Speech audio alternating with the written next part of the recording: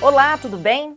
A cidade de Marília tem cerca de 2.700 consumidores que poderiam pagar menos na conta de energia.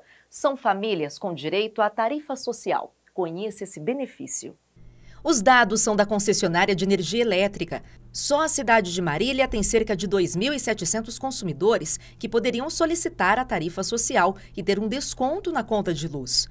Quase 6 mil famílias do município já contam com o benefício, mas outras 2.709 não pagam mais barato, muitas vezes por falta de cadastro na CPFL.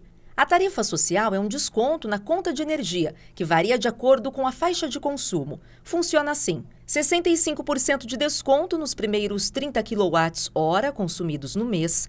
Para o consumo de 31 a 100 kWh mês, o desconto é de 40%.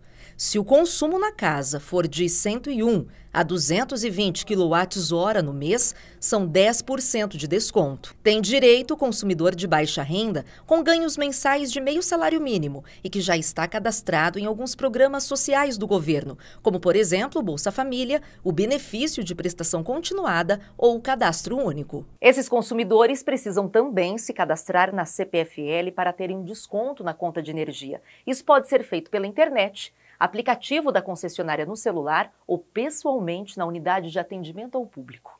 Outras notícias na programação e também nas redes sociais do Legislativo. Até a próxima edição. Tchau!